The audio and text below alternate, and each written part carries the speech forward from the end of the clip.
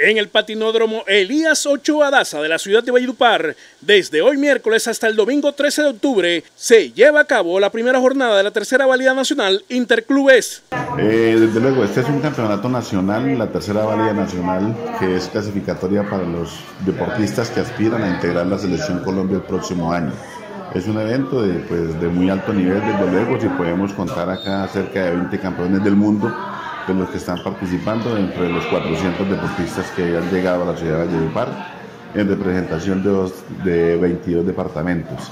Adicionalmente, los deportistas han tomado este evento como, una, como un evento previo de preparación a lo que va a ser la cita de Juegos Nacionales en el mes de noviembre en la ciudad de Cartagena.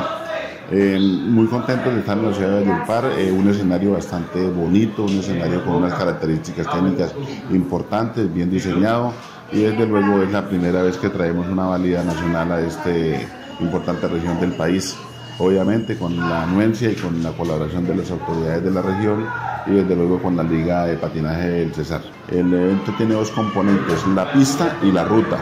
La ruta que está alrededor de la pista y desde luego tendremos una jornada en la calle que va a ser en la carrera novena, entre carrera novena y carrera cuarta, y allí en Chicolat, y desde luego allí tendremos la, una prueba que se llama 100 metros carriles. Esto sería el día sábado y los deportistas estarán en la ciudad de Valledupar hasta el día domingo. Esta competencia hace parte del calendario nacional para sumar puntos al escalafón dentro del proceso de conformación de la Selección Colombia Manzana Postobón 2020.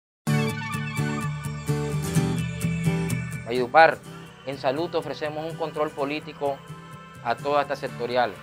Ya está bueno la tercerización de los recursos en salud en Valledupar. Necesitamos hacer un verdadero control político a estos recursos.